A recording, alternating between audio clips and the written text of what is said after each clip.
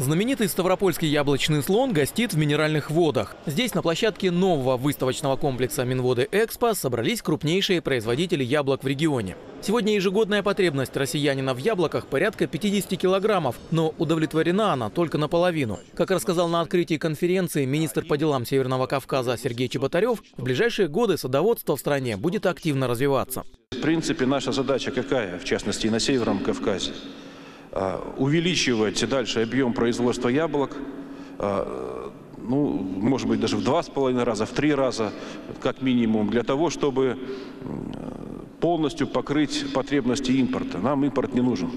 Выставка про яблоко собрала более 600 участников. Неудивительно, это первый в регионе бизнес-форум такого масштаба, посвященный теме садоводства. Отсюда и повышенный интерес к конференции. Генеральный партнер форума Сбербанк, и это тоже не случайно. Мы профинансировали уже порядка 2000 гектар садов на территории Юга России, Северного Кавказа.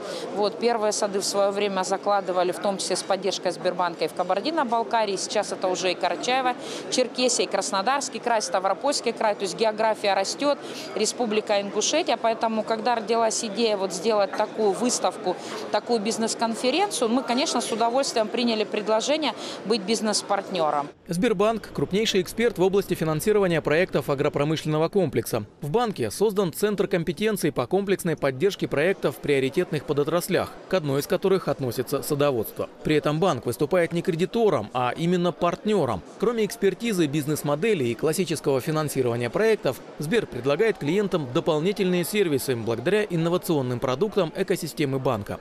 Это глубокая аналитика больших данных, маркетинговая и рекламная поддержка, телемедицина, юридические вопросы и другие возможности. Илья Захаров, Ставропольское телевидение.